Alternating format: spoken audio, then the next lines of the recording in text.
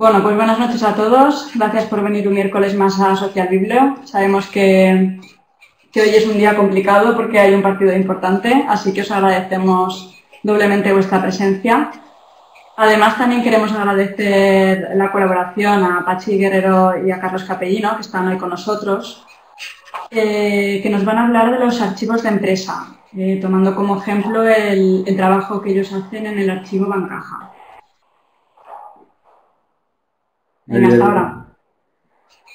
Gracias. Bueno, buenas noches a todos. Eh, eh, como ha dicho Paula, eh, hay días en que entramos en conflicto con muchas cosas. por lo tanto, agradeceros a los que el partido importante era ayer que estéis con nosotros y a los que creen que el partido importante es hoy, pues también que estéis junto a nosotros.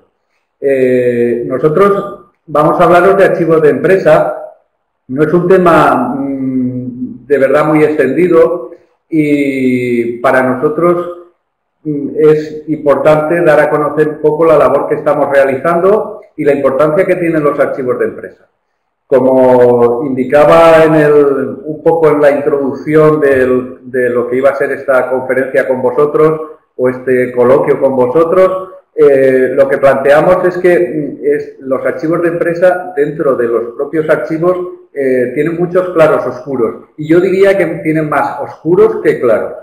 Eh, si, sois conocedores de un poco del sistema archivístico, los archivos municipales, los archivos de la, de, la, administración funcionan bastante bien, porque ambos hemos sido miembros de la Asociación de Archiveros Valencianos y conocemos en profundidad la, situación y el estado de los archivos.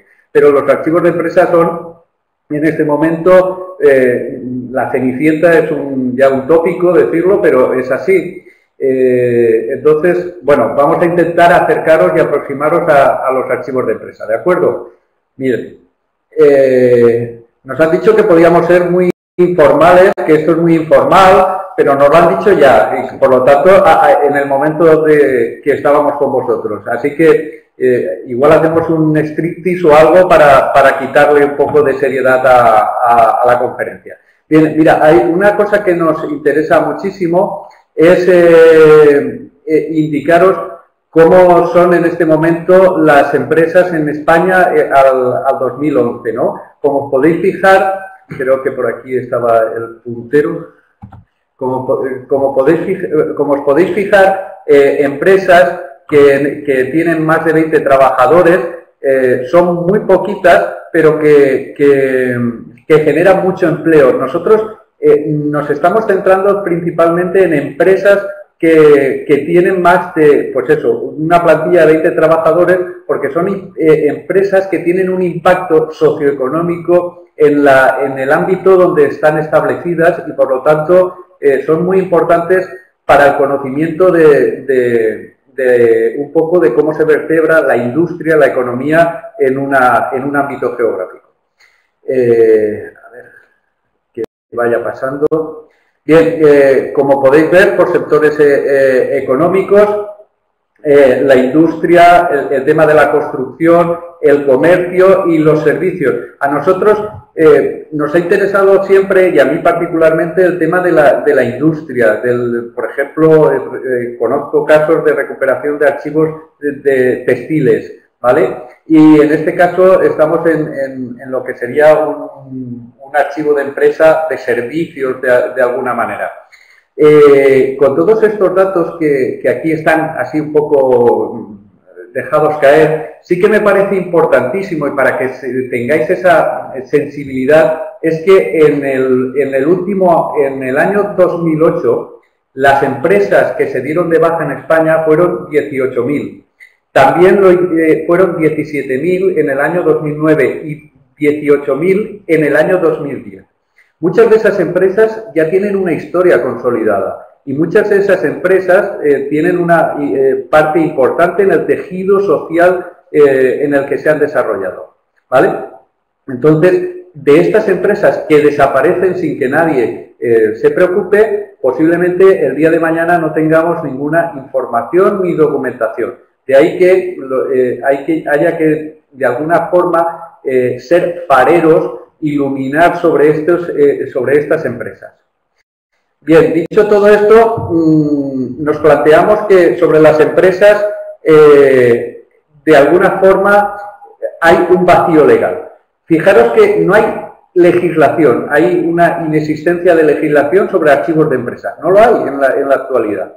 Sí que eh, al final uno se ampara en una legislación económica, pues uno tiene que guardar la documentación en los últimos cinco años, especialmente todo lo que tiene que ver con la contabilidad y la facturación, pero eh, hay, por ejemplo, una ley del comercio, del Código de Comercio del año 1885, que habla de que las empresas tienen que tener un registro y un control de sus actividades económicas, contables, de auditoría, y tiene que dejar constancia de, documental de sus actos y de sus hechos. Es decir, desde el año 1885 alguien ya estableció que eh, las empresas debían de dejar testimonio de lo que habían sido, que habían realizado, un poco de, de su vida, de su historia. Todos conoceréis seguramente empresas en vuestros ámbitos de 25, 30 años que han dado mucho trabajo a, donde se han desarrollado y que por motivo de la crisis del año 70 o por otros, eh, otras crisis posteriores como las actuales, pues han ido cerrando. Son muy importantes, por lo tanto, para el tejido.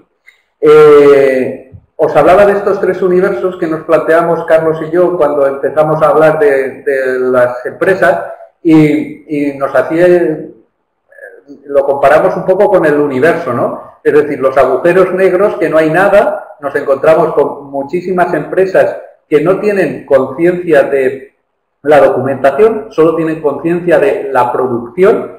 Nos encontramos con empresas que serían como planetas, pero que no tienen sistema.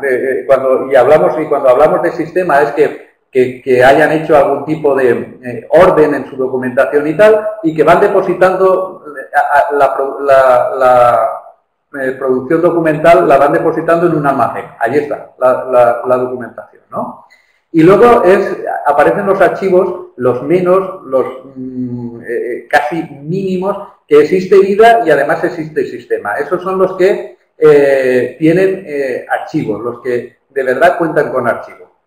Bien, ¿quién sitúa a una empresa en, un sitio o en otro? ¿Quién, en qué escenario la sitúa? Pues mm, lo determina, por ejemplo, la utilidad, que, sean útiles para la gestión de la propia empresa, eh, que hay una sensibilidad de preservar. La sensibilidad de preservar siempre se encuentra, y eso lo hemos comprobado, en el, en el productor. Hay alguien alguna persona de un consejo de administración, alguna persona eh, que lleva la contabilidad en la empresa, que tiene una especial sensibilidad por conservar. No, sabe, no, tiene muy claro por, qué y para qué, pero tiene una sensibilidad especial por conservar. Eh, cuando el tiempo pasa, y todos al final, o gran parte, eh, en, mi caso como historiador, sí que demandamos los, los investigadores acceder a esas fuentes documentales. Cada día más eh, mucha gente accede a un, a un, en este caso, a archivos como los financieros para, para conocer la actividad económica, mm, qué, eh, estrategias llevaron a cabo durante el tiempo que esa entidad financiera eh, se desarrolló. Y por último, y es una, es una ya palabra o una frase que conceptúa muy bien lo que debe de ser un archivo, eh, conviene y, es consecuencia de la sensibilidad en una responsabilidad social corporativa. Eh, desde un punto de vista de la responsabilidad de la empresa con el ámbito en el que se ha desarrollado. Insisto mucho con el ámbito geográfico en el que se desarrolla. Y esa responsabilidad social le hace tomar cartas en la Mm, en preservar la documentación. Bien, eh, si nos centramos en los archivos financieros, eh, lógicamente hay un modelo a seguir, que es el del Banco de España. Eh, y, no os creáis cuando estamos hablando del Banco de España, que, em, que se constituyó en el siglo XVIII, no os creáis que el Banco de España tiene un archivo desde siempre, con la sensibilidad de siempre en preservar la documentación. No es a partir de 1982, fijaros, eh, a partir de 1982, con motivo del bicentenario de la creación del Banco de San Carlos, cuando eh, se establece por primera vez las pautas del archivo eh, del archivo del Banco de España. Bien, entonces, ese es el modelo que, nosotros pretendimos, eh, eh, pretendimos de alguna manera seguir, con dos particularidades. Una, por, una parte, la entidad financiera, de ahí que hayamos puesto esa imagen del dinero. Lógicamente, las entidades financieras han sido eh, gestoras, han sido, mm, de alguna forma, han dado, han dado interesadamente dinero, pero por otra parte ha habido una repercusión social, ha habido un compromiso social como era eh, devolver a la sociedad todos aquellos beneficios que tenía. Por lo tanto, las cajas de ahorro tienen dos partes muy importantes. Por una parte la económica y por otra parte la social.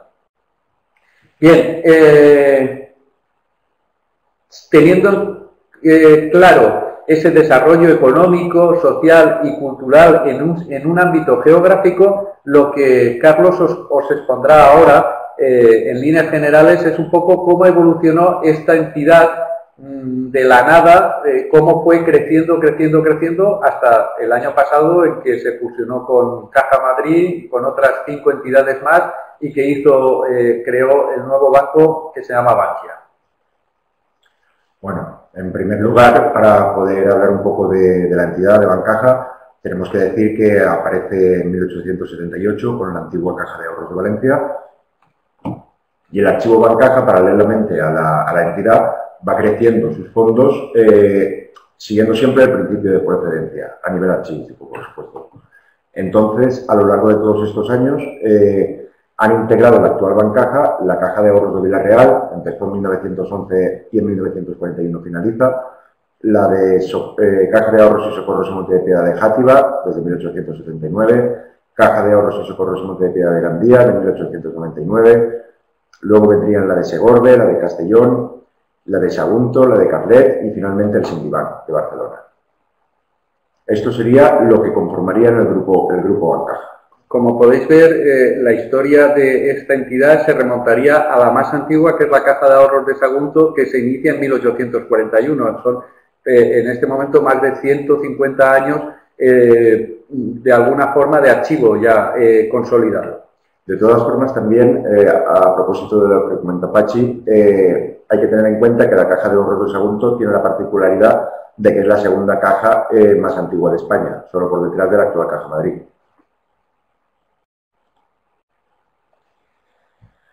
En un primer momento eh, hubo una necesidad de documentar las principales decisiones y operaciones, eh, es lo que comentaba antes de almacenar. Después, con la aparición del archivo, em, se empieza a conservar para ser memoria viva. Es cuando juega un papel económico y sociocultural. Como podemos ver en el mapa, el recorrido geográfico de, las, de todas las entidades que conforman la actual Bancaja abarca principalmente la comunidad valenciana, pero a lo largo de toda su geografía, y tenemos la particularidad también más al norte del Sindibán de Barcelona. Por lo que respecta a las fechas de fusión o absorción por las cuales pasan a, formar parte en ese momento de la Caja de Ahorros Valencia y a partir de después del, de Bancaja, eh, podemos observar tres, tres frases claramente diferenciadas. La primera fase de expansión sería la que viene dada después de la posguerra. En esa fase tengamos en cuenta que estas entidades eh, eran de localidades más o menos pequeñas respecto a la capital, que era Valencia y es Valencia, y otras de esas entidades, al multiplicar la central sus ramificaciones e instalarse en la localidad, viene de hecho la continuidad perfecta para poder integrarse dentro del grupo. Eh, eh, un matiz importante. Eh, parece que el tema de las fusiones y absorciones sea una cosa muy actual y podéis fijaros como desde 1941, que es cuando la primera caja, eh, la caja de Villarreal la absorbe Caja Valencia, se empiezan a producir ya estos tipos de eh, mm, uniones entre entidades financieras que pasan por una debilidad económica o pasan por una mala gestión. Como pasa en la primera fase, en la segunda fase también hay un porqué. En este caso era la inminente integración económica europea que propició un marco estratégico para que muchas cajas eh, de la comunidad valenciana, existiendo más o menos duplicidades, optaran por hacer un grupo más fuerte. Eh, es cuando realmente nace Bancaja, con la incorporación de Caja Segorbe, Caja Castellón y Caja Segundo. Finalmente, hay una tercera fase de expansión en la que el Sindibank durante sus últimos años entra en un periodo de dificultades y lleva, definitivamente la absorción por compra del grupo financiero Bancaja. Finalmente, Caja Carlet pasa en 2001 a formar parte del grupo y aumentando la red de oficinas. Bien, esto, eh, este sería un poco la evolución de la entidad, porque como todos, como vosotros, como nosotros, todos tenemos pasado, todos tenemos familia. Eh, eh, esta es la familia de Bancaja, estas son un poco las uniones, los matrimonios que, han ido teniendo a lo largo de su historia. Pero sí que nos interesa destacar tres aspectos importantes. El primero es eh, algo que, se ha que se perdió en los últimos años, que era estas entidades financieras nacieron con la necesidad de fomentar el ahorro, del ahorro popular, de la captación de depósitos, de préstamos no financieros y en definitiva lo que estaban propiciando era el crecimiento de la burguesía industrial, de las políticas de inversiones, etcétera, etcétera, que tanto posibilitaron y que tanto ayudaron al crecimiento de las poblaciones pasado aquí? Nos hemos ido. Vale. El segundo eh, aspecto, que era el que, el que os he introducido, es ese desarrollo económico en el ámbito de actuación.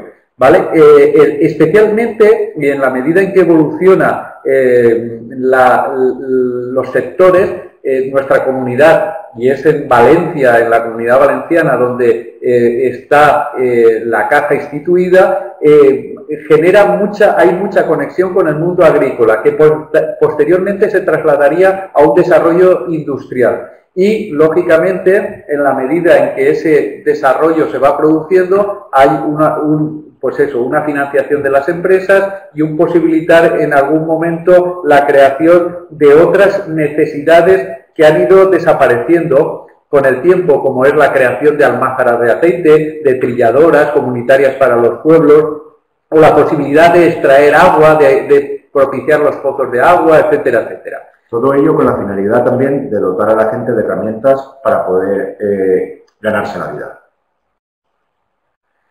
Eh, en algún momento eh, partimos con el, último de los aspectos, el desarrollo de actividades para mejorar la calidad de vida, las acciones sociales sin duda, este ha sido uno de los grandes factores de, de, la gran identidad de la marca de las cajas de ahorro, que ha sido su, eh, eh, su vocación de devolver a la sociedad todo aquello que había ganado en acciones sociales.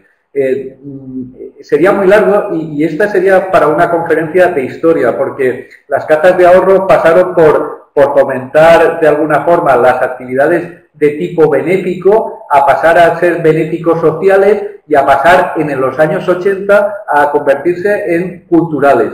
En función de cómo iba desarrollándose el bienestar de los ciudadanos, las cajas de ahorro iban tomando mm, nuevas directrices, iban siendo de alguna manera pioneras en, poner en marcha algunas actividades. Por poner un ejemplo, cuando nadie, eh, eh, y vosotros hoy estáis todos conectados a Internet, pero en el año 94, y eso parece que sea ayer, en el año 94 eh, la expansión de Internet estaba ahí, pero se podía producir una fractura social entre la gente por desconocimiento con, con, las nuevas tecnologías. La, la obra social de la caja lo que hizo fue poner ciberotecas en muchas poblaciones tener un autobús que iba de pueblo en pueblo, en donde acercaba sobre todo a los sectores más mm, eh, desfavorecidos, como puede ser la tercera edad por desconocimiento, o los jóvenes que, que, se, que se asomaban a ese nuevo mundo, eh, les iba potenciando esas actividades. Es decir, eh, de alguna forma, poco a poco esa actividad ha sido importante. Y hoy esas actividades que se realizaban sirven para concretar qué tipo de acciones sociales eran necesarias en las vidas de nuestros pueblos. Bien, eh, ¿cómo se forma el archivo de Bancaja? Eh, el archivo de Bancaja, como todo, siempre hay un origen, siempre hay un porqué, siempre hay una decisión. Y esa decisión es, eh, se comienza en 1978, cuando se cumple el centenario de la Caja de Ahorros de Valencia. Es necesario editar un libro, se pretende eh, editar un libro, libro que por cierto podéis encontrar en la página web que luego os eh, indicaremos. Y en esa, en esa, a, la hora de hacer esa historia se necesitan consultar los fondos. Como siempre hay que ir a beber, a, beber de las fuentes. Y las fuentes no están. Es un primer acercamiento a las fuentes y una primera decisión de, de crear el archivo. Lógicamente pasan 15 años hasta 1993 en el que por primera vez no solo aquel inicio en el que eh, se intentó de alguna forma compilar la documentación, sino que ya hay como una especie de proyecto de ordenación del archivo de la, eh, de la caja de ahorros. Es en 1994-95 cuando eh, se contrata un experto que mm, determina varias cosas. Primero, eh, ampliar los fondos documentales. Se notan que hay carencias, que faltan archivos de alguna caja fusionada, que dónde está ese archivo. Es necesario también darle una ubicación física, un lugar donde se preserve y se conserve. Y es también, eh, se edita una guía catálogo de orientación para eh, no solo los investigadores, sino para los, propios, eh, la propia entidad que no sabía con qué contaba. Bien, y en 2003 se vuelve a hacer otra organización, siempre, eh, ¿y por qué se producen estas organizaciones, reorganizaciones de los fondos? Os preguntaré, porque no había profesionales a, su cargo, sino que, bueno, se iba acumulando la documentación pero nadie de alguna forma organizaba esos fondos documentales, nadie eh, databa esos fondos documentales. Eh, se nos ha colado una fecha que es la del 2005, que no está ahí, que la del 2005 es importantísimo porque por primera vez la entidad habla de constituir el archivo bancaja. Dice, hay que constituir el archivo bancaja y toma un acuerdo. A partir de ahí, en el que se me responsabiliza a mí de, supervisarlo, controlarlo, darle forma, pues vamos, a, vamos eh, eh, logrando hitos. Y entre otros hitos, aunque os parezca un hito eh, demasiado corto, pues somos dos personas en este momento las que llevamos a cabo pues todo, la, la catalogación, la conservación y la preservación del archivo bancaja. Tenemos objetivos a corto y medio y largo plazo que, se, que, se, van eh, introduciendo a medida que se van consiguiendo esos hitos y que os vamos a ir explicando también a continuación. En los 175 años de historia que lleva la Caja de Ahorros de Valencia, como decía Pachi antes, los 20 últimos años son los únicos que ha habido concienciación archivística. Eh, eso vendría dado también por lo de la responsabilidad social corporativa que hablábamos, pero tengamos en cuenta también incidamos en el hecho de que cada vez es mayor. Es mayor la concienciación, eh, la necesidad de tener un archivo y de, cuidarlo. Para ello eh, se realizan unas acciones técnicas imprescindibles para que el archivo sea un archivo y no un almacén. Anteriormente, ¿dónde está ubicado el archivo? Anteriormente había una dispersión de los fondos en varios depósitos. Eh, tenemos el depósito eh, en Sorolla, en Valencia, en la unidad territorial de Segorbe, en el edificio Uche de Castellón, en el Centro Cultural Bacaja de Valencia. Después, a partir del nuevo equipo de trabajo, eh, existen dos depósitos que cuentan con más de mil metros lineales de documentación y están dotados de compactos ignífugos, armarios especiales, control de temperaturas, control de plagas. Eh, realizamos estudios también de medición de temperaturas y más o menos intentamos adecuar a las mejores necesidades de la documentación que Bueno, aquí tenéis eh, tres fotografías, tres ejemplos de cómo eh, el archivo, vamos a utilizar una palabra importante y que es dignificar. se ha, pasado de, ser un, un, espacio en donde, bueno, habían estanterías y tal, a darle, pues, el, de verdad, el valor que tiene, del que hablaremos también a continuación. Ante la necesidad de estructurar el sistema archivístico del archivo Bancaja, eh, se llevan a cabo diferentes actuaciones. En primer lugar, en cuanto a las de carácter organizativo, a realizar por los órganos de gobierno. Son las personas que son el órgano encargado de, decidir esas, decisiones, para la redundancia. En primer lugar, la voluntad misma de creación del archivo. En segundo lugar, la concentración de los fondos documentales y la creación de los depósitos adecuados para albergarlos. Es decir, eh, dejemos estar eh, la repartición que había de fondos y concentrémoslos en un mismo espacio. Eh, la dotación de personal técnico, evidentemente, para poder hacer bien un trabajo hace falta gente cualificada en todos los campos y en todos los ámbitos. Y elección y adquisición de una herramienta informática potente, acorde con la importancia que pueda tener el fondo documental. Aquí hemos puesto un pantallazo. No, se ve muy bien, pero... el problema de, tenerlo incrustado, eh, a partir de la conexión hubiera sido interesante tal vez conectarnos, hacer alguna especie de prueba así básica, pero vaya, que simplemente sepáis que permite hacer todos los procesos archivísticos, tanto a nivel oficinas, a nivel eh, gestión, control, difusión, etcétera. Incidiremos un poco más adelante en ello. Y finalmente el programa de documentos vitales y el plan de emergencias.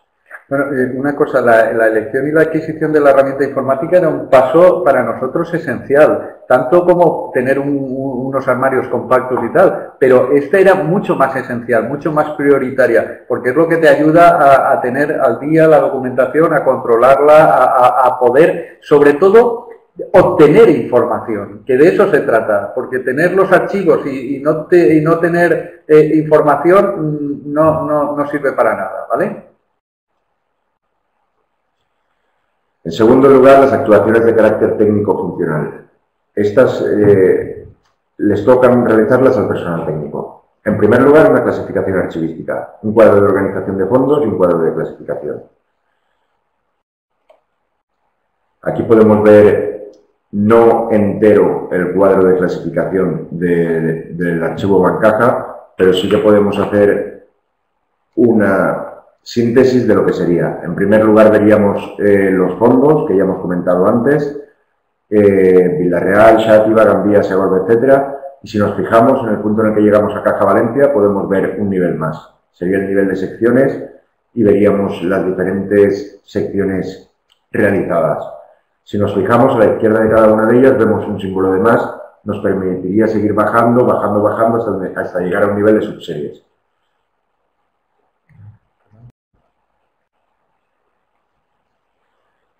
En segundo lugar, los procedimientos de ingresos. Hay que regular todos los ingresos de documentación.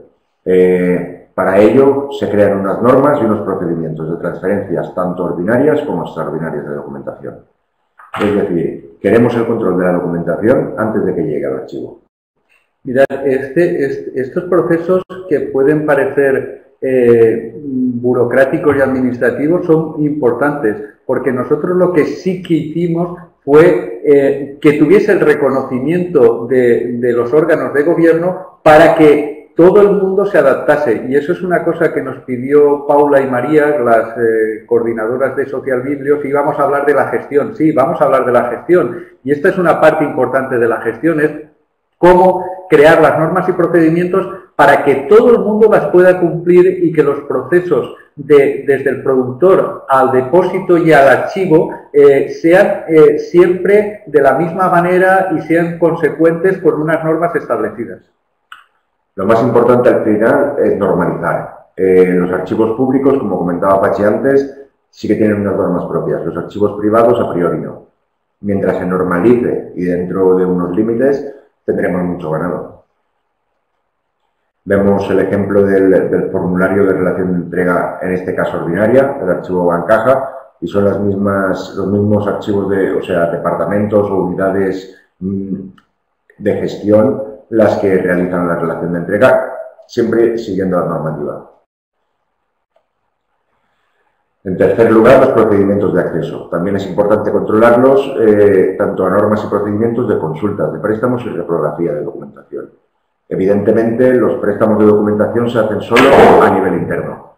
Eh, la documentación puede consultarse a nivel interno y externo, pero solamente se podrá sacar del archivo para, para aquella gente interna de la entidad. El formulario de préstamo de documentación, evidentemente interno, eh, con los campos mínimos para poder eh, datar la fecha de salida, la fecha de devolución, eh, quién se lo lleva, qué se lleva, qué clasificación tiene, la asignatura, etcétera. Vaya, alguna observación si, la hubiera. en este caso es un control, un control necesario para que la documentación no se pierda y en donde además la persona que lo solicita va a tener que dejar su firma y su compromiso de conservar bien ese documento que sale del archivo. Una cosa interesante también en cuanto a la reprografía es que hemos tenido muchos casos en el que se nos solicita alguna imagen o algún documento para para gente externa a la entidad. En ese caso le facilitamos la imagen o, la documentación reproducida en la mayor calidad posible, pero eso sí le, eh, solicitamos que firme un compromiso de, citar la fuente, cosa muy habitual en, todos los archivos. El manual de procedimiento. Que es más amplio, es el que contiene todos los procesos en general del archivo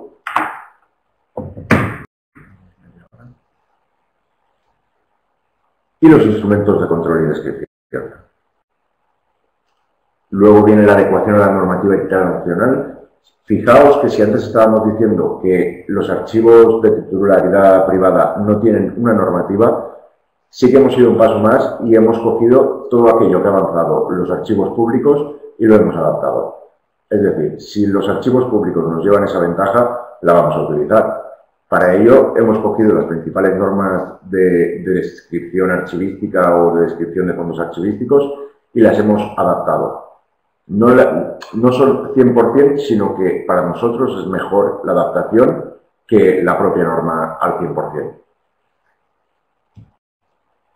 Bien, y, luego eh, estaría, por lo que os estaba comentando, el plan de gestión total. Eh, es el archivo en mayúscula. Es lo que eh, nos solicitó también, como os he dicho, Paula y María.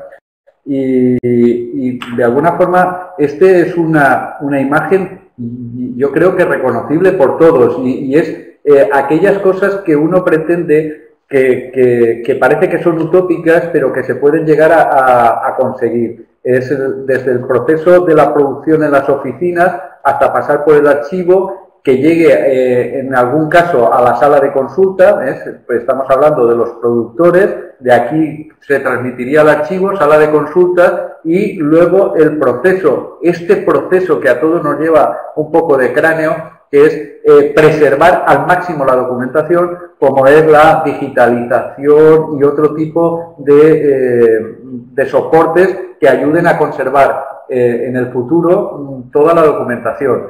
Este proceso es un proceso integrador. Integrador porque, mira, nosotros mm, estamos muy satisfechos de la labor hecha y seguramente tendremos también lagunas en, nuestra, en nuestro trabajo. Pero lo que sí que nos quedaremos con la, con la espinita clavada es porque el proceso de fusión que se produjo el año pasado nos ha dejado de, alguna manera eh, con la miel en los labios. Nosotros, eh, eh, estabais escribiéndolo ahí, lo estaba viendo en el chat, el tema de la concienciación. Era muy importante. Nosotros empezamos a concienciar hacia arriba, hacia los órganos de dirección, pero también llegados a este extremo decidimos que, teníamos que coger todos los órganos, todos los servicios productivos de Bancaza pensar en, auditoría, servicios jurídicos, eh, personal, eh, infraestructura, eh, todos los servicios que tenía Bancata y explicarles cuáles iban a ser los modelos de producción y, cuáles, y cómo se iba a transmitir esa información a los archivos, cómo debía de llegar a los archivos, en qué condiciones y de qué manera. Por eso os, hablo de ese proceso integrador. En ello estábamos y estábamos satisfechos de, estar dando ese paso. Eh, ¿Eso qué significa también? Una implicación del archivero, una implicación en la institución, una implicación en el conocimiento de la institución. Por lo tanto, cuando tú tienes esa implicación, puedes desarrollar fases de diseño, puedes desarrollar valoraciones, puedes eh, desarrollar selección de documentación y, sin duda, eh, hoy en día, además, necesitamos también eh, herramientas y esas herramientas son informáticas. A veces detestamos que los informáticos quieran ocupar lugares como son la de los archiveros o los documentalistas. Es, mm, es como ir en un barco y, tener que evitar al resto de, la tripulación. No, todos tripulamos y hay que sacar el máximo provecho de, todos los tripulantes, de todos los que están en ese barco para que el barco llegue a, buen puerto. Y por lo tanto, los objetivos que nos planteamos en este proceso de integración y que os digo de verdad que nos sentimos un poco defraudados de no haberlo podido conseguir, es eh, preservar esa documenta la, documentación más adecuada que tenía la institución, mejorar la organización desde la creación y la recuperación de, esos documentos y de sus datos, cuidar los documentos, cuidar, que queda a veces, eh, utilicemos también, cuidar, mimar la documentación, la memoria, eh, y luego también resetear, expurgar, eliminar aquellas cosas que no sirven, aquellas cosas que no van a, no van a tener interés para, para, el futuro, o por lo menos así lo pensamos en algún caso, nos podemos equivocar también, ¿no? Bueno, pues ese es, este es nuestro proceso de gestión. En este proceso de gestión eh, estábamos y en este proceso de gestión nos hemos quedado. Ahora, eh, eh, lógicamente, el archivo bancaje es un archivo cerrado, es un archivo que ha concluido y que, por lo tanto, sí podemos hablar de ese término que a muchos archiveros también les gusta, que es el archivo histórico, archivo histórico de Bancaja. No es un archivo que está eh, en este momento eh, vivo ya, ¿vale? Hemos visto las actuaciones de carácter organizativo, hemos visto las actuaciones de carácter técnico-funcional y en tercer lugar nos quedarán las actuaciones de carácter estratégico. Estas también son a realizar por el personal técnico. En primer lugar, eh, un prestigio social que se consigue mediante la difusión de fondos. Un archivo que no se difunde, que no se vende, que no se ve, es un archivo muerto. Y tanto sea de titularidad pública como privada. En el caso de la pública va aparte porque siempre se va a consultar. Un archivo privado se tiene que ver. Aquí, como hemos comentado antes, eh, tenéis un pantallazo de la sección del archivo dentro de la web de la obra social Bancaja. Eh, esto fue un logro también porque por fin empezábamos a vernos. Eh, la gente que accedía a la web de la obra social, bien sea porque buscaba información tanto institucional como de alguna actividad en sí, podía ver eh, que, que, había un archivo, que había una historia, que había cosas. Había cosas que hasta ahora no había. Es el primer momento de difusión y es el inicio en cuanto a salir fuera. Ello provoca que se aumente el número de investigadores, por lo tanto, porque la gente empieza a conocer y entonces dice, también tienen el fondo de tal, eh, solicito eh, consultar documentación. Con lo cual, aunque estaba abierto anteriormente, eh, aumenta el número de los investigadores la pertenencia, aunque esto es anterior del grupo, al grupo de trabajo de los fondos históricos de la CECA. Sí, este, este, esto además es un grupo de trabajo en el que se intentaba eh, coordinar a todas las cajas de ahorro, por eso la CECA es eh, Confederación Española de Cajas de Ahorro, eh, se intentaba de alguna forma coordinar a todas las cajas de ahorro y donde había que establecer unos cuadros de organización y tal. Nosotros fuimos los mayores impulsores, lo puedo decir sin, sin rubor, eh, y, hemos sido observados por otras entidades financieras en cuanto al proceso y al rápido proceso que hemos llevado de creación del archivo. Pero, lógicamente, con todo el proceso de fusiones y absorciones, este grupo de trabajo se ha disuelto y, en este momento parece que quedamos nosotros y, algunos más, ¿no? Pero, bueno, ahí estamos. En segundo lugar, dentro de las actuaciones de carácter estratégico, aquellas de prestigio profesional. Una de ellas es la inclusión dentro del sistema de archivos de la Generalitat Valenciana y en el censo guía de archivos de España y Iberoamérica. Esta segunda estamos en proceso, en la primera sí que estamos dentro ya. Y luego la pertenencia a asociaciones o institutos de entidades financieras como algunos estaréis en pijama y otros cenando y otros viendo el partido, es que de esto nosotros estamos comiendo rojilletas, ¿eh? que, si no nos tenéis aquí a, palo. Bien, eh, nos gustaría de alguna manera, eh, no solo, no solo eh, decir estamos nosotros eh, que, o somos de alguna manera los únicos, sino, mm, bueno, el verano pasado, por iniciativa, en este caso, de la Asociación de Archiveros y utilizándome a mí por ser profesor de la Universidad Jaume I de Castellón, convocamos un curso de verano sobre archivos de empresa. Y eh, empezamos... Que no, abundan en, España, tal como estáis poniendo en el chat. Que no abundan. Entonces, eh, lo que hicimos de alguna manera fue mm, intentar prospectar qué tipo de archivos y quién nos podía dar información sobre archivos. He leído en el chat que hay gente que, ha escrito pidiendo bibliografía. Es que no hay mucha. Es que, de verdad, que, que, la bibliografía no es abundante. Si no es abundante sobre archivos administrativos, imaginaros sobre archivos de empresa. Bien, y os hemos querido poner algunos ejemplos de, la información y de los ponentes eh, que participaron. Eh, el Centro de Recursos Informativos de la Embajada de Estados Unidos, en este caso no era tanto sobre la Embajada de Estados Unidos, sino que María Jesús del Olmo nos vino a, nos vino a hablar de un tema muy importante, eh, de, de cómo un archivero entra en un proceso eh, tecnológico para documentar y para conservar la documentación del Enterprise, ¿vale? Eh, estamos hablando del Enterprise eh, y, María Jesús fue la documentalista durante todos los años de la empresa que gestionó ese, ese, proyecto de, investigación. nos, nos importaba muchísimo, os he dicho al principio, que tenemos que ser fareros o intentamos ser fareros, ¿vale? Eh, nos interesó muchísimo la cuestión de la Universidad Jaume I de Castellón, que localiza empresas que están cerrando y que eh, absorbe, que solicita poder preservar esos fondos documentales. Eh, era muy importante porque hay una sensibilidad y esto está muy bien eh, que la universidad lo haga, porque denota preocupación en preservar, vuelvo a insistir, parte de la memoria de la sociedad. Las empresas son parte de la memoria de la, sociedad. La administración es parte de la memoria de los ciudadanos y, así podíamos ir identificando archivos de, variado tipo. Estos son unos, ¿eh? muy poco eh, atendidos.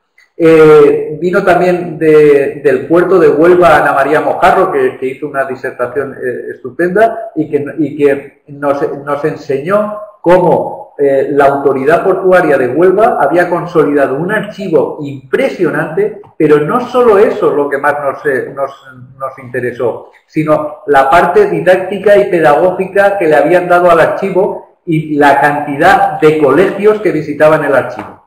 ¿Vale? Entonces, como podéis ver, las empresas también tienen eh, esa vocación que, hablábamos antes de difusión, de darse a conocer. Cuanta más difusión tienen, más importancia tienen, más consolidación tienen.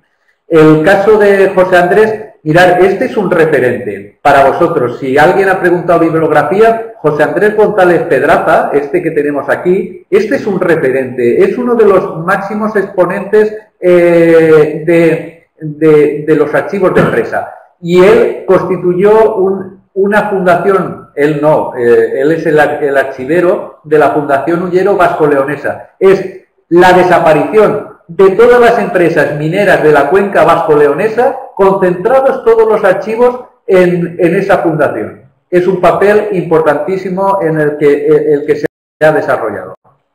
Bien, hay, un, hay si alguien siempre busca un referente, si alguien busca siempre un, eh, espejo donde mirarse, eh, sin duda el, archivo BBVA, creo que le hemos puesto una V más, ¿no? ¿Habíamos bebido? Sí, perdón. hemos bebido, ¿eh? le hemos puesto dos Vs eh, cuando solo es una. Bueno, pues el archivo histórico del BBVA tiene un... Tiene, primero, tiene un edificio modernista recuperado para conservar el archivo. Ya es, eso ya es como vivir en palacio. Y luego eh, eh, eh, todo el tema de sus fusiones y asunciones con otras entidades lo ha tenido siempre muy delimitado, muy cuidado y tiene un archivo fundamental. Pero además se difunden que son la repera. Tienen una, tienen una importancia en, darle difusión a eh, acciones importantísimas. Y esto es muy importante y seguiremos insistiendo en ello. Tanto a nivel de herramientas digitales, tan, tan de moda y tan en boca de todos últimamente, como también a nivel de exposiciones in situ en sus locales, que es una cosa que no solemos ver en los archivos. Quisiéramos verlas más frecuentemente, pero juegan a las dos bandas, a lo tecnológico y a lo de toda la vida.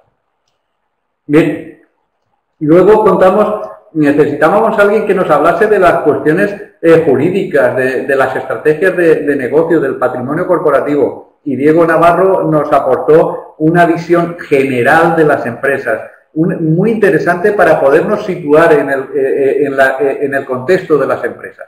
Bien, no, no quiero insistiros mucho más, sí que para, para, alguien que ha dicho, creo que ha sido Leticia, que ha dicho que el partido de, importante fue el de ayer, pues le hubiese encantado eh, asistir a la conferencia de Jordi Andreu sobre el archivo del Fútbol Club Barcelona. Impresionante. Eh, estamos hablando de mm, más que un club, estamos hablando de más que una empresa, estamos hablando más que una institución, estamos hablando de, algo que tiene un calado trascendental. Bueno, que, alguien eh, se haya preocupado por el archivo y, lo potencie y, sirva de, bueno, de referencia para todo, nos sorprendió muchísimo. Jordi Andreu, además, eh, ha trabajado el tema del Banco de Sabadell, también una entidad financiera. Como podéis ver, eh, importante, todos los, los en aquel caso, pues recogimos por primera vez esta sensibilidad y bueno, ahí están los que pudieron asistir, sí, Carlos.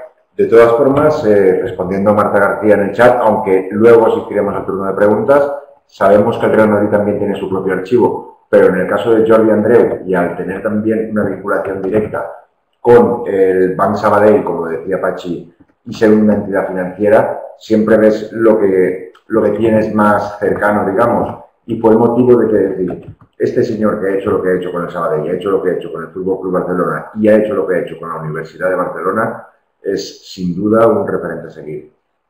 Bien, si me permitís, os voy a enviar el enlace de lo que fue el curso de verano, donde están todas las ponencias, que creo que van a ser muy interesantes para vosotros, más que la nuestra. Por lo tanto, vais a tenerlo ahí, lo envío ya, ahí está publicado, eh, el enlace donde podéis encontrar en PDF todas las ponencias, ¿de acuerdo? Bien, eh, solo nos queda, creo que vamos bien de tiempo y así os permitimos cenar. Yo sigo con las rosquilletas. Carlos, aprovecha. Os hemos contado un poco eh, la historia de la entidad. Luego hemos pasado a contaros qué es lo que hemos hecho. Ahora vamos a contaros cuáles son los proyectos futuros. Como no daría tiempo de contaros todas las cosas que llevamos entre manos, tanto a corto, medio y, y largo plazo, incidiremos en dos que les tenemos un especial cariño. Por lo novedoso, por lo diferente, por lo estratégico también, volviendo un poco a aquello de vender el archivo y tal. Y en primer lugar es el fondo personal de Luis Warner. Es un fondo personal, no es habitual tenerlo en las entidades bancarias o financieras, y en este caso es el de Luis Werner, que es un ilustre escritor de, Valencia, y antes de su muerte en 1986 dona todo su fondo a, la entidad, a la Caja de Ahorros de Valencia. Eh, incluye documentación mayormente del siglo XX, pero incluye desde 1782 hasta 1986, año en el que muere. Actualmente nos encontramos realizando un proyecto de recuperación, control, conservación y difusión del fondo y tanto como un servicio más a la sociedad en general por aquello de la obra social y especialmente a la sociedad valenciana en este caso y sobre todo cuando se es consciente, cuando ves la documentación y eres consciente del legado intelectual que aportó a la sociedad valenciana, te sientes en la obligación de intentar enseñarlo, de mostrarlo a la gente. Pensemos que escribió muchísimos libros, eh, fue el primero que hizo traducciones de Verlaine, de Baudelaire, de El mío Cid, incluso en España, y es, y es una lástima no enseñarlo y poder, poder contarlo, poder mostrarlo y tal. Bueno, quedan ocho minutos. A mí me quedan dos rojilletas. Va justo todo. El otro proyecto al que tenemos un especial cariño y en el que estamos trabajando cada vez más e intentando mejorarlo y tal, es el OPAC. Eh, como bien sabréis, es un catálogo en línea, en este caso fotográfico, y incluye a día de hoy 10.000 fotografías que abarcan la historia de, de, las entidades, voy a decir en este caso entidades porque eran anteriores a la constitución de Bancaja, desde 1936 hasta la actualidad. Es decir, eh, son imágenes digitalizadas en formato JPG, respondiendo un poco, dando una pinceladita de aquello de los requisitos técnicos que preguntabais antes, luego incidiremos en ello. Imágenes en JPG de baja calidad con marca de agua incrustada de bancaja. Luego ofrecemos a la gente también que lo, solicita, eh, la que lo solicite en el futuro la imagen de mayor calidad. Y simplemente decir que en breve o a medio plazo lo habilitaremos en la web como otra herramienta más de difusión y sobre todo como otra herramienta más de conocer nuestros fondos. Bueno, 30 veces he masticado las rosquilletas. Hay que ver, hay gente que cuenta hasta... Bueno, eh, vamos a terminar mm, eh, con unas conclusiones. Podríamos hacer muchas, ¿no? Pero la primera, como hemos indicado, es eh, no hay una normalización como existen con los archivos públicos y por lo tanto a veces uno se encuentra en, la, más eh, soledad eh, porque cualquier decisión que tiene que tomar no, no, no encuentra una publicación, no encuentra una bibliografía, no encuentra alguien en el, en el que apoyarse. Nosotros hacemos un dúo muy complementario eh, nos entendemos bien de momento, somos una pareja, somos una pareja de hecho, que no de derecho, y, entonces eh, intentamos resolver desde el sentido común, intentamos resolver eh, todas las dudas que, nos da la carencia de, esa normalización. Por lo tanto, por eso cada empresa hace su propia batalla en algunos casos, como habéis visto al principio de esta eh, exposición, ni la hace y en otros casos, pues eh, la hacemos de manera individual y personalizada porque los dos nos lo creemos, porque los dos eh, lo vivimos y de alguna mm, manera lo que hemos planteado, y, eso sí que también ha sido muy importante, que es nuestra relación con el Banco de España, es que el, marco, el Banco de España eh, marcarse una solución para las entidades financieras. Posiblemente al final nos convertiremos nosotros en la solución para las entidades financieras más que el Banco de España, porque aunque no quedan muchas entidades financieras en todos estos procesos de fusiones y absorciones, eh, las que quedan nos piden un poco nuestro, nuestro trabajo. ¿Qué podemos aportar eh, al día de hoy? Pues que somos útiles para la empresa, lo hemos demostrado, somos útiles de alguna manera para eh, la gestión de la empresa. Cada día lo somos más, es decir, cada día que pasa nos piden más documentación. y es aquello que dicen, no, no me lo termino de creer cómo, cómo ocurre esto. ¿no? Dentro y fuera de la institución. Bueno, espera que me queda la última rojilleta y ya está el tiempo. Y hay una parte importante. Mira, eh, yo eh, empecé mi vida profesional siendo archivero. Y, ya de esto hace muchos años, con lo cual no os lo voy a contar porque si no la sacaréis la edad, pero sí que escribí cuando nadie hablaba eh, de una enfermedad que hoy, hoy es muy latente y muy preocupante en nuestra sociedad. Es lo que se llama la, nueva enfermedad del siglo XXI, es el Alzheimer, ¿no? Eh, yo escribí en aquel entonces sobre algo que nadie conocía y que dije que nuestra sociedad en cuestiones de memoria moría eh, también eh, con, una, pues eso, con una enfermedad que era el Alzheimer o, o, se aquejaba de una enfermedad que era el Alzheimer. Sigo diciendo al día de hoy que partes del cerebro, porque es así como funciona el Alzheimer, va de alguna forma paralizando partes del cerebro, pues partes del cerebro, como son los archivos de empresa, están olvidados, reseteados, paralizados y están dejando que el testimonio de nuestra sociedad en, cuanto al valor económico y social eh, se vaya perdiendo. Yo no me resta nada más que agradeceros que, nos hayáis estado escuchando, agradecer a Paula y a María que nos hayan invitado, aunque no, no, no han tenido ni dinero para el escote de, de, invitarnos algo más que unas rosquilletas y gracias a vosotros por, por vuestra atención. Gracias.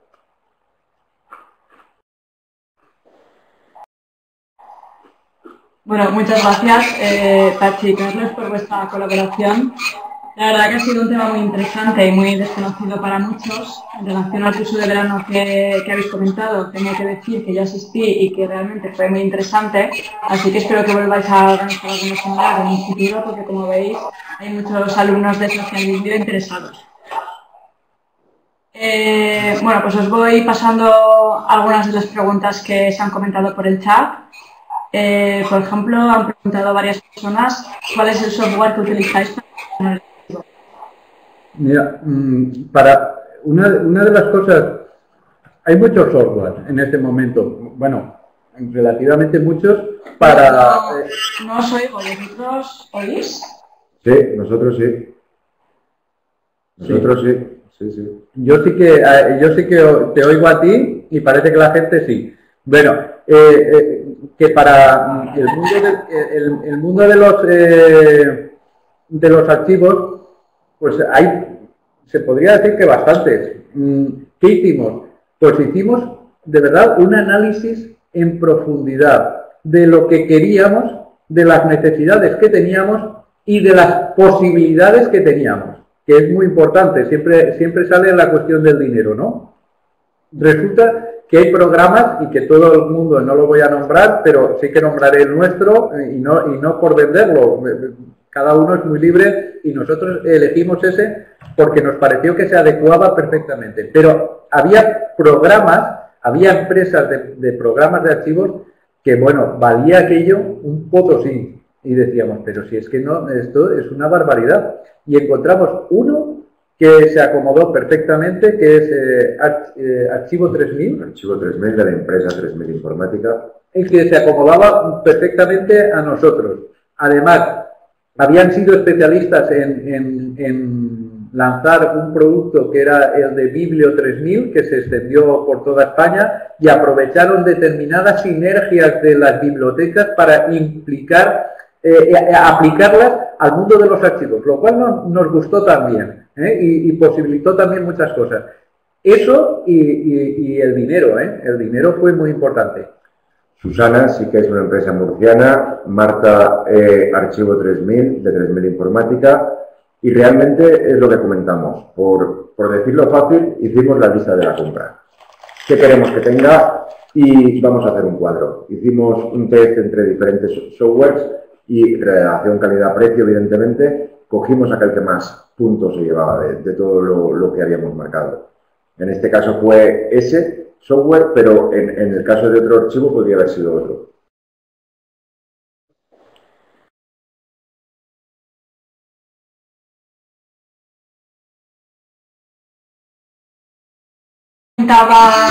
Sí, también preguntaba Neila, eh, en Bancaja, ¿cómo habéis planificado la gestión, descripción, reservación y conservación de los documentos electrónicos? Sí, mira, en este momento estamos, eh, eh, eh, lo que pregunta ella es que ya es, ese es un, una, un último paso que, al que no hemos llegado, porque imaginaros todo lo que llevamos realizado. Es, un, es algo que tenemos en cuenta. Es más, Carlos ha trabajado y se ha especializado y ha ido a cursos sobre archivos electrónicos y, y, en este momento, pues nuestro informático, lo que estamos viendo es todo el sistema de workflow, de, cómo mmm, se gestiona la documentación por la red, de cómo se deposita, de cómo, qué repositorios eh, cómo, cómo mm, encontrar esa documentación, lo estamos trabajando con ellos. Pero eso, estamos en mantillas, ¿eh? no, mm, me, me, disgusta no poder dar más información porque de verdad es que no hemos llegado a, esa cuestión. De todas formas, por hacer un hincapié también en el tema documentación electrónica tan de moda, tan en boca de todos, eh, me parece muy bien la documentación electrónica, una vez tengamos claro la documentación papel, que es la que tenemos eh, más al día a día, sin dejar de ver lo que se está cociendo nuevo. Pero tengamos primero hecho lo otro, lo que sabemos que está ahí tanto de los años pasados como de hoy, y ricemos el rizo después. Eh, quiero dejar esa idea también.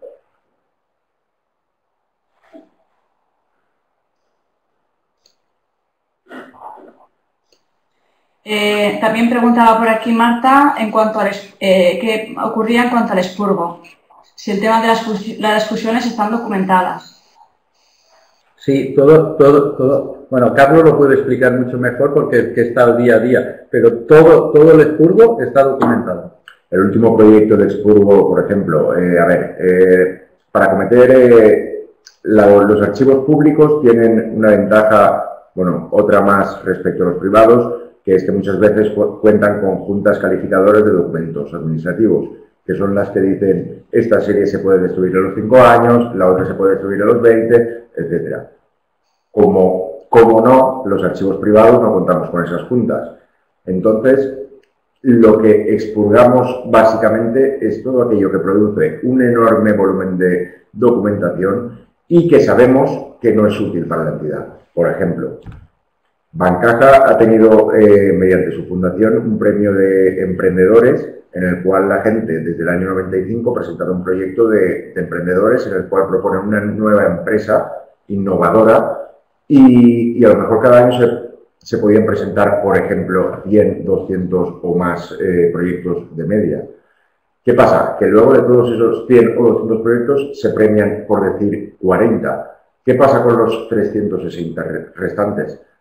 Pues todo eso hemos ido eliminándolo, evidentemente con los máximos niveles de seguridad, confidencialidad, con contenedores de documentación confidencial, guardando registro de cuando se presentaron. Es decir, la relación de los trabajos que se presentaron, que es muy importante, es decir, no desaparece todo porque ya de sí hay un registro de los 400 documentos. Y además con la particularidad de que eh, hemos llegado a hacer que en las el archivo, el propio archivo, ha llegado a aconsejar al departamento gestor, en este caso jóvenes, que en las bases pongan que aquellos no premiados pueden retirar su proyecto o será destruido pasado X tiempo. Con lo cual ya vamos adelantando el tiempo. Son cosas evidentes. Los expurgos que estamos haciendo son cosas evidentes. Bueno, también ha preguntado Enrique cuáles son los documentos más antiguos con los que contáis y qué porcentaje de documentos históricos se conservan en las primeras cajas que se fusionaron. ¿Yo? Si quieres, bueno, la fecha. Realmente, como hemos comentado, la primera caja en cuanto a antigüedad que tenemos, que es la segunda de España, es la de Caja de Ahorros y Socorros de Sagunto. Esta caja, que es de 1841, quiere decir que en 1841 ya tiene una, entidad que, se llama así, de hecho, pero para que en 1841 exista esta entidad hay un proceso de creación anterior que, por suerte, porque volvamos aquí de los personalismos o que siempre ha habido alguien que ha tenido conciencia de guardarlo, a lo mejor tenemos documentación de 1838 que se empezaba a gestar, que se empezaba a cocer esa caja. Alrededor de 1838 podríamos decir en cuanto a antigüedad.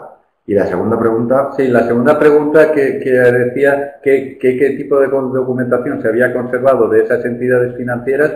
Mira, mm, mm, eh, si nos acogemos a lo que yo os he dicho de la, de la ley de, la, de comercio de 1885, eh, lógicamente los libros de contabilidad, los libros de actas y todo aquello que tenía que ver con los órganos de gobierno. Eh, principalmente. Entonces, esa es la que se ha preservado mm, con totalidad. Eh, hoy en día eso se ha hecho mucho más extenso y nosotros preservamos mucha más documentación de la que nuestros antepasados conservaron por una cuestión, fijaros, lo que hoy es historia, lo que hoy es documento histórico, en aquel momento es un documento testimonial, un documento financiero, un documento económico y, hoy pues ha llegado hasta nosotros. Es verdad que es poca cosa, pero lo suficiente como para poder entender cada una de las entidades financieras, por qué se crean, cómo se desarrollan y por qué desaparecen. Volviendo al tema también del expurgo, que veo que sigue siendo motivo de debate, eh, solamente para que nos hagamos una idea, con esta documentación eliminada, vuelvo al mismo ejemplo del proyecto de, que presentan los emprendedores, hemos ahorrado, hemos destruido confidencialmente cumpliendo los procesos y de aquella documentación no premiada que consideramos que no tiene valor.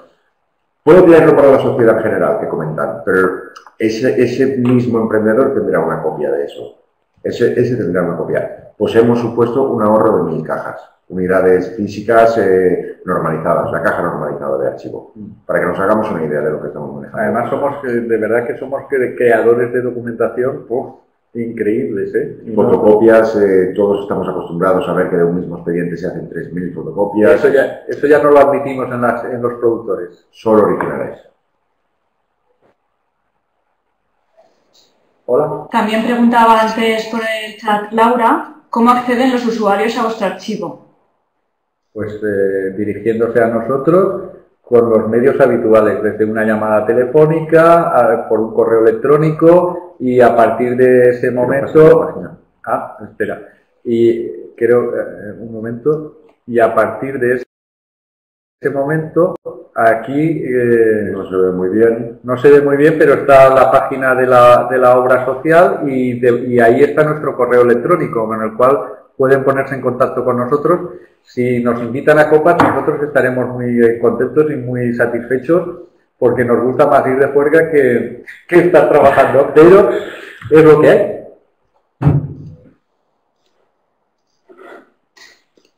También ha preguntado Leticia si se mantiene hoy en día la obra social y si es en la misma ratio que antes. lo he visto antes que lo ha puesto y que se ha he preguntado sobre la ratio otra vez. La, obra social se mantiene. La Fundación Bancaja, en la cual nosotros, la Fundación Bancaja es en este momento quien preserva la memoria histórica de, la, de Bancaja, del archivo Bancaja, eh, es la obra social.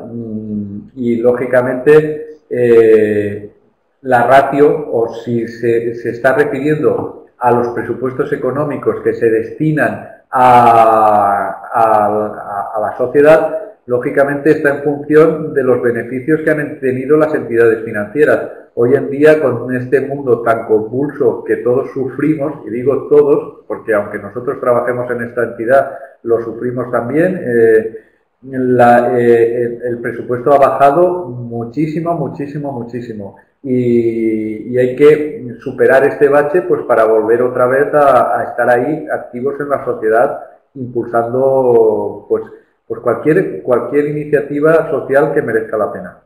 De todas formas, también incidir en que durante la primera mitad del siglo XX eh, el fondo destinado a la obra social era voluntario, no había nada estipulado. No recuerdo ahora mismo en qué año fue, cuando me parece que el 70 y algo, lo tendría que comprobar, vaya, cuando por fin se regula. y se destina al 50%. Y creo que actualmente está también por ley, no, no recuerdo si es un veintitantos por cien más o menos. bueno, eso está cambiando porque el Banco de España ha determinado eh, que las nuevas entidades financieras, si, si, no, si tienen beneficios, los tienen que reinvertir para, para consolidarse y no repartirlos en la sociedad porque ya les han dado mucho dinero, en fin, este es otro tema que... Pero un poco viene regulado. Bueno, y, la última pregunta que tenemos por aquí era eh, ¿cómo veis vosotros con el cierre de muchas empresas el futuro de los profesionales de los archivos de empresa?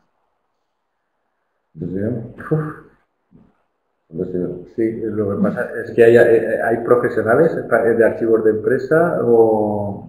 Bueno, supongo que la pregunta es porque eh, lo pregunta alguien que está trabajando en alguna empresa y... O porque está en el paro, a lo mejor, tal vez. De todas formas, me adelanto, luego Pachi si quiere apuntar alguna cosa más.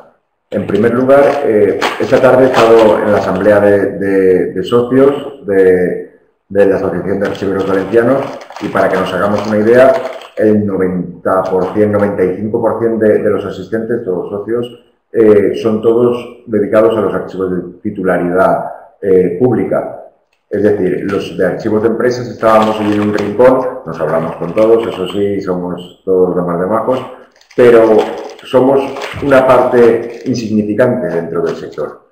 Esto es, primero, volviendo al principio con lo que comentaba Pachi, porque las empresas no saben lo que tienen o lo que no tienen al no tener un archivo. Y vaya, si es más que nada por parte de la vía encontrar trabajo, mi teoría personal es que esto es una cosa que a medio largo plazo va a salir. O sea, va a salir porque tiene que salir. Tiene que aumentar y por tanto va a haber una demanda. Mi teoría personal. ¿Alguna cosa, Pachi? No, yo. Eh, vamos a ver, este es un, es un mundo eh, que no tiene muchas expectativas a veces de trabajo. Mm, en los años 80 hubo un boom en, eh, los archivos, archivos municipales y, archivos de, otro tipo. sí que sería necesario que, claro, que las empresas por ejemplo, nosotros contactamos con el, para el curso de verano con una gran empresa, con una multinacional de empresas, que no se puede decir, que no lo vamos a decir, y, le preguntamos, no me veas que no lo voy a decir, que se dedica al azulejo, eh, y que está en Villarreal, creo. No, déjalo. Eh, que, y entonces eh, contactamos con ellos y les preguntamos que si tenían archivo, porque nos interesaba eh, saber, mm, pues eso, si contaban con un archivo, qué tipo de archivero, qué, qué tipo de profesional tenían, qué tipo de organización tenían. Bueno, ¿A qué se dedica? Pregunta Leticia. Pues se dedicaba a que nos contestó la jefa del gabinete de prensa y cuando le, dijimos que archivos de prensa, dijo, ¿archivos de qué? Y ya con eso mm, pues nos quedamos defraudados. Pero si las empresas importantes, las más importantes, eh, no tienen esa sensibilidad o no la creamos, sobre todo hay que crearla, de verdad, hay que crearla, hay que llamar, llamar por teléfono eh, y, preguntar, ¿tienen ustedes archivo? Queríamos eh, analizar cómo empezó a funcionar su empresa en los años tal, tal, tal, tal. Pues a lo mejor un día se les cae la cara de vergüenza. Más no os puedo decir. Pero no hay que perder el ánimo, ¿eh? Bueno, pues ya hemos acabado con la, con la ronda de preguntas. Muchísimas gracias, Pachi y Carlos, por responderlas todas. ¿Nos ha dado tiempo al final? Sí. Nada, simplemente eh, recordaros que tenéis la página web eh, del archivo. Eh, aprovechad para visitarla también, os sonará todo porque es un poco lo que os estamos contando. Y más que nada porque estamos también en proceso de cambiarla y dentro de poco va a variar y la vamos a ampliar. Con lo cual, pues no está de más que la veáis ahora y así podréis ver también el siguiente paso en cuanto a la difusión de fondos. Oye, Paula, nos dijiste que si hacíamos algún regalito, hemos traído caramelos para todos. Y pero que vayan cogiendo, si no que vengan a vernos y se los daremos. Qué detalle, tendremos que, que pasar a veros. Muy bien. Bueno, pues muchísimas gracias.